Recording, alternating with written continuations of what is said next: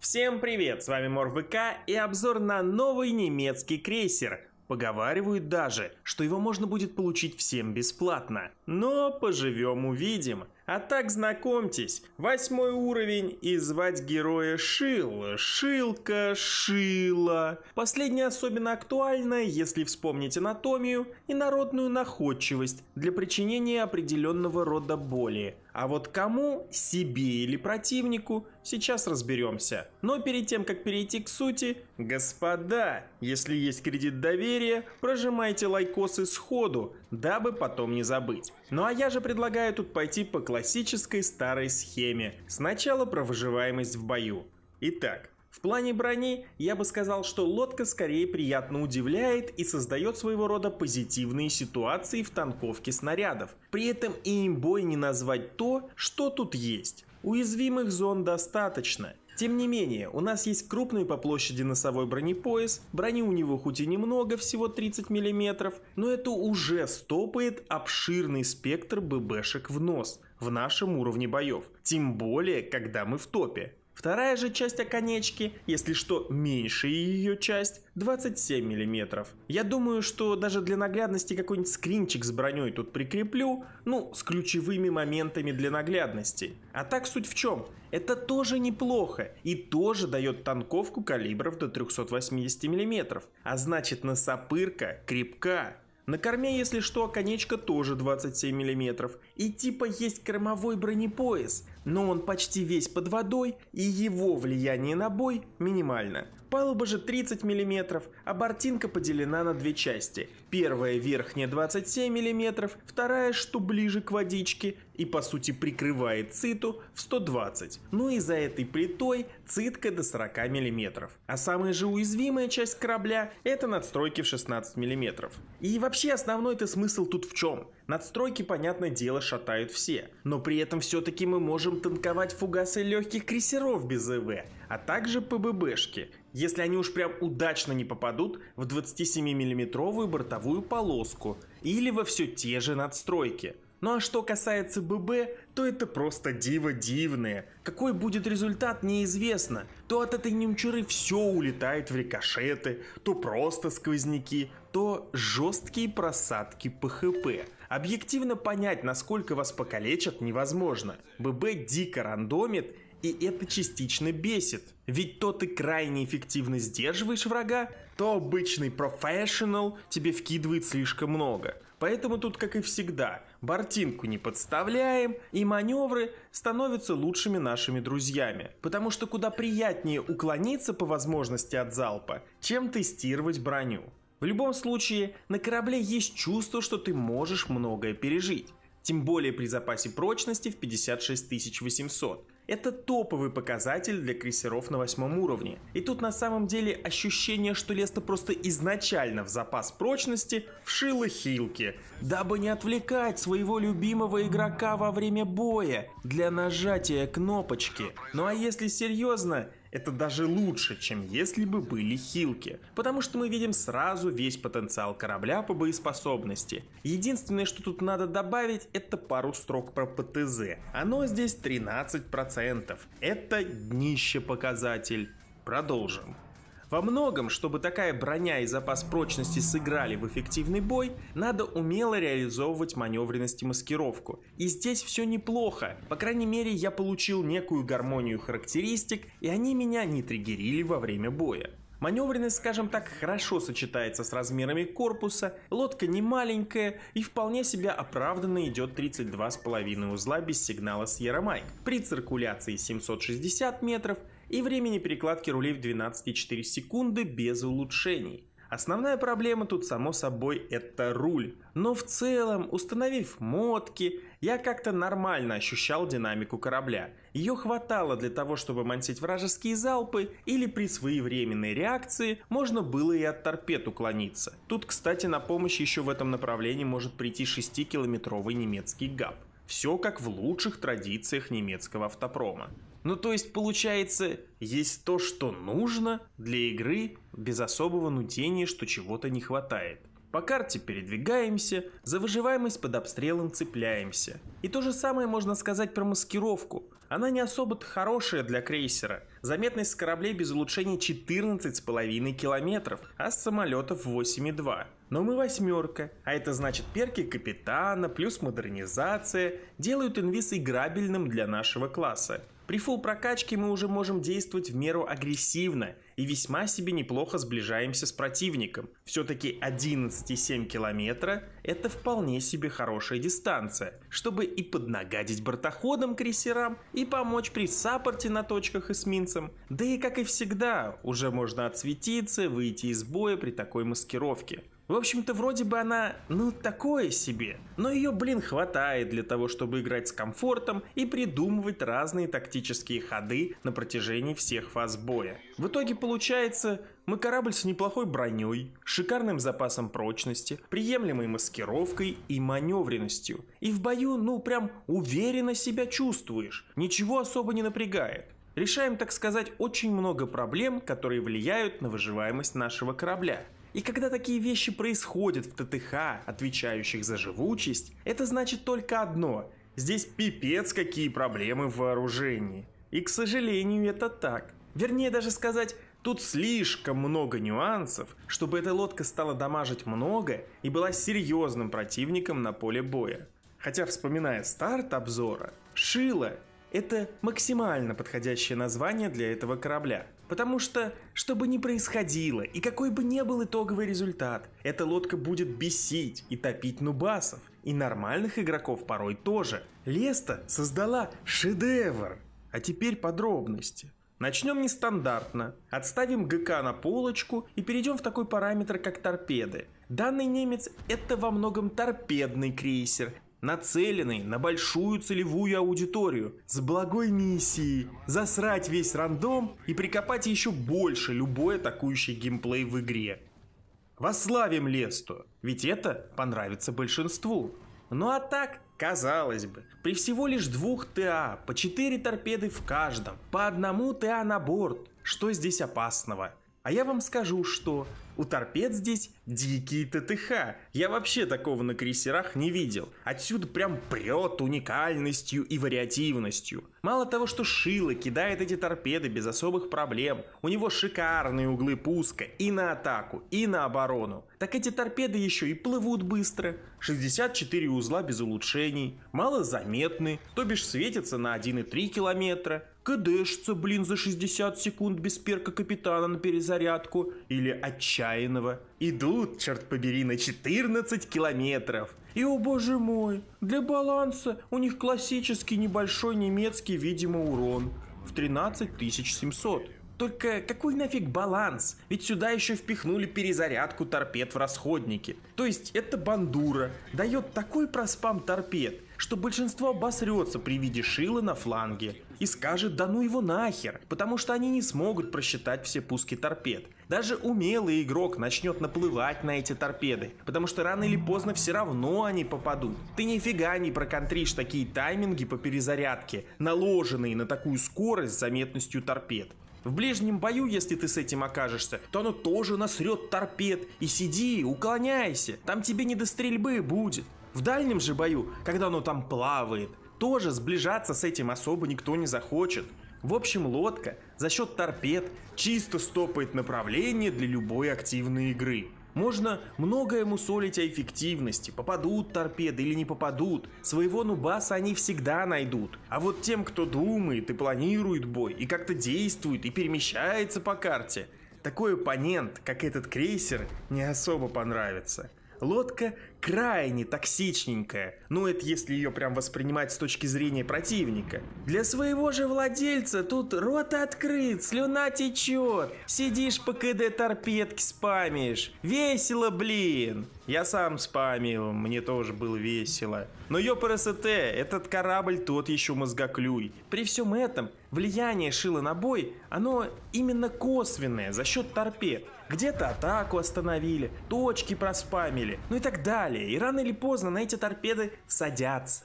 Но реальная эффективность порой значительно ниже, чем хотелось бы. Ведь торпеды – это самое рандомное вооружение. И именно из-за этого то бой на минималочку, что дай бог ты хп отобьешь, то на нубасах редкоземельный элемент уроний набиваешь. В общем, весело, токсично и рандомно. Все правила игры соблюдены на полную. Ну и в паузах между пусками торпед здесь постреливаешь с днища ГК или на врывах смотришь на не особо-то эффективную работу ПМК, хоть и приятную на взгляд. Лодка занимательная выходит, как видите. Ну а что касается ГК, то тут скучновато. Две башни по три 283 миллиметровых орудия в каждой. Микроверсия Шарнхорста прям какая-то. Но что важнее, ТТХ-то неплохие. Дальности здесь много, 18,3 километра. Плюс есть возможность взять корректировщика, а значит проблем с выбором целей и ведением огня по сути-то нет. Лишь бы был подсвет от союзников. Перезарядка для такого калибра тоже отличная. Стреляем раз в 15,5 секунд. Башни крутятся недурно, 180 градусов проходит за 25 секунд без улучшений. Углы стрельбы также не вызывают особых нареканий, как и баллистика со скоростью полета снарядов. Упреждение ПЛК авиком берем без проблем, на любую доступную дистанцию. По крейсерам можно пострелять километров до 15, по эсминцам ПЛ до 12. Единственное, что тут вымораживает помимо небольшого количества орудий, это точность. При рассеивании снарядов 159 метров уж слишком часто видишь странные облеты и перелеты. Но в целом по чуть-чуть попадаешь и реализовываешь как ББ снаряд, так и УФ. Тут особой привязки к боеприпасу нет. Тут есть только специфика применения. По бортинам ББХ упихаем с альфой в 7000 при пробитии в цитадель, а она, если что, бьется исключительно из крейсеров. Илка такими пушками не пробить, только если уж прям звезды, может быть, вам не помогут. Короче, ждите, когда там козерог залезет рогом в рыбу или как там это у них происходит. А фугасами же лупим во все остальные проекции. Пробитие у них, кстати, очень приличное. Это 71 мм. При уроне в 3200 и шансе пожара в 20%. Правда, сразу говорю, приличие тут только на цифрах. На деле урона с ГК бьешь маловато, а пожары редкость. По сути, тут ГК как вспомогательное вооружение. Основной урон набиваешь именно с торпед. Само собой могут быть и исключения в боях. Вдруг на бортоходов повезет и цит набьешь. Но в большинстве своем, без попаданий торпед, нормального урона с крейсера здесь нет. Отдельно еще хочу отметить ПМК. Оно все-таки порой тоже свою копеечку вносит в копилку урония. И дабы не мусолить цифры в ваших ушах, скрины будут на экране. В общем, у нас есть 105 миллиметровые пушки, по 3 башни и 2 ствола в каждой на борт. Итого 6 башен на корабль. Они быстро стреляют и под сигналом на ПМК бьют на 8 километров. Урон у них хоть и невысокий, как и пробой, но эсминцы и крейсера в топе и на врывах это разбирает по чуть-чуть. Ну или просто может иногда поджечь, что тоже хорошо. Есть еще две башни по три ствола калибром 150 мм. Одна на носу, другая на корме. И они тоже неплохие, уже пробивают больше целей, но и могут куда серьезнее огорчить ваших недругов. ПМК выглядит на самом деле приятно и добавляет своей атмосферки во время агрессивных действий. Правда, гонять в атаку ради его реализации на регулярной основе не стоит. Это даже, скажем так, бессмысленно. Ну а мы перейдем к последним пунктикам нашего вооружения. Сначала про авиаудар. Тут вкратце и быстро. Скрин на экране опять-таки. И о боже мой, это снова стандартный авиаудар, о котором и говорить-то нечего – все как и у всех. Если повезет, закинете его в ПЛ. И может быть ее покалечите.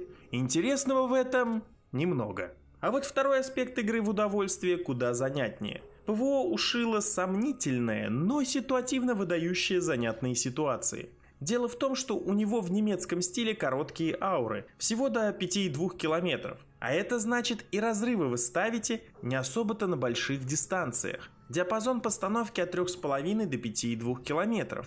Вот только вот тут разрывов 6 штук при уроне 1400. И если свезет, то вы выплевываете эти разрывы в авиацию, и она в них теряет существенную часть боеспособности. Я бы не сказал, что такое происходит часто, но занятные ситуации бывали. Ну а далее уже работу делают ауры ПВО, которые безусловно не особо-то сильны. Максимальный урон дает ближнее, но работает она всего лишь до 2 километров. А это значит, что дамашка в 207 максимум собьет то, что вас уже проатаковало. Средняя же аура просто помойная, урон у нее 21 и ее работа до 3,5 километров не особо-то на что-то влияет. А вот дальняя аура, хоть и выглядит хорошо, дамажит-то 133, но дальность-то 5,2 километра. И как бы если разрывы не попали, то особо тоже ничего не сбивает. Против нас разве что только авиация шестого уровня может как-то немного страдануть. И то это слишком сильное утверждение.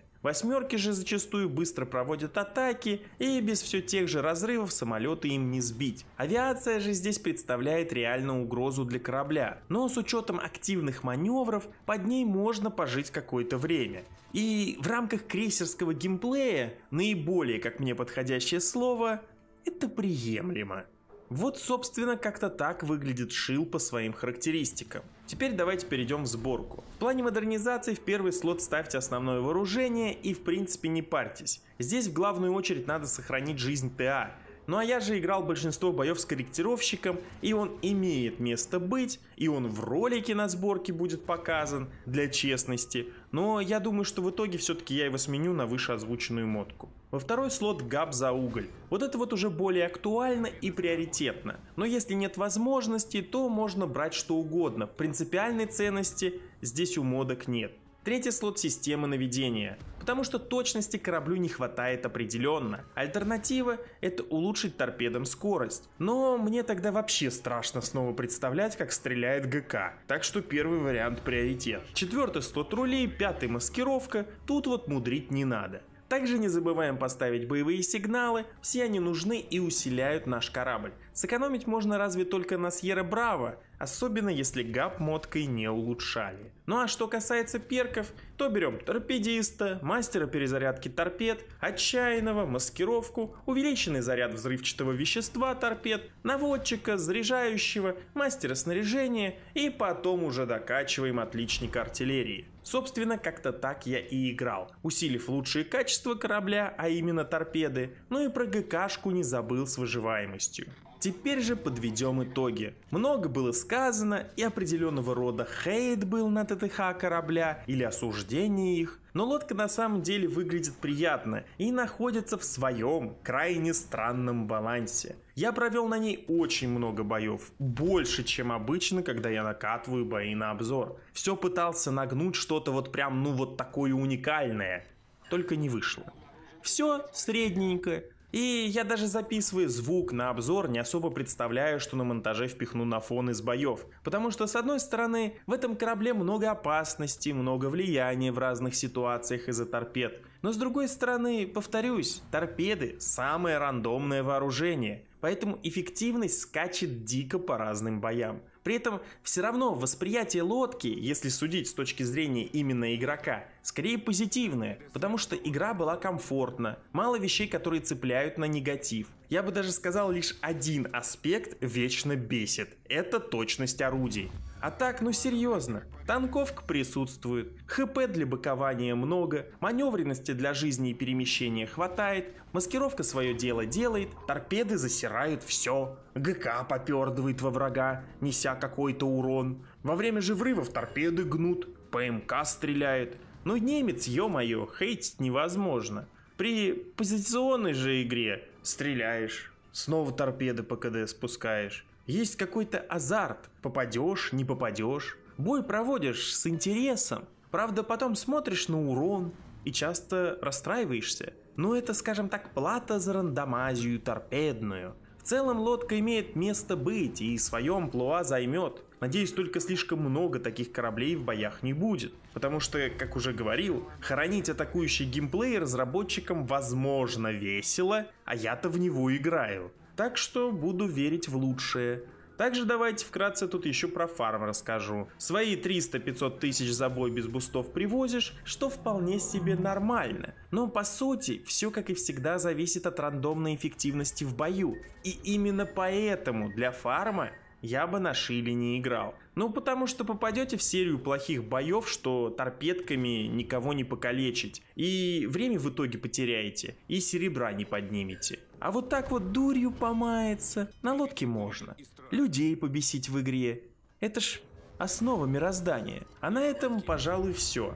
Не забывайте прожимать пальцы вверх, кто еще этого не сделал, подписывайтесь, вступайте на Boosty, у кого есть желание и возможность. Ну а мы с вами увидимся в боях. Всем пока.